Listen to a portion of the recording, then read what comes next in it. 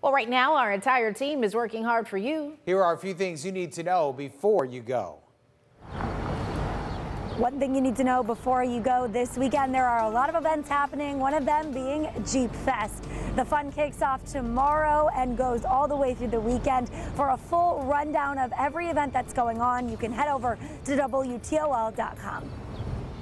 And expect more clouds this morning, giving way to sunshine in the afternoon. High temperature eventually reaches near 80.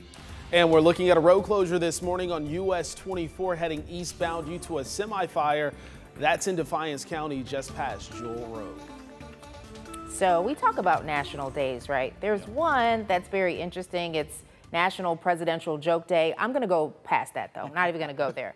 National right. Sons and Daughters Day. So, oh, I like that. Honor your son and your daughter. Okay. Ryan, honor your son. All right. Yeah. All, all about them today. Kind of interesting. I was so say it's always about the What am I supposed to say? When is it like honor moms and dads day? That's uh, Mother's and Father's Day. Yeah, right. yeah, once a year. You're like my son, Ryan, I'll honor you today. yeah. Steven, we will honor ourselves Call today. me Papa. we are sons and daughters.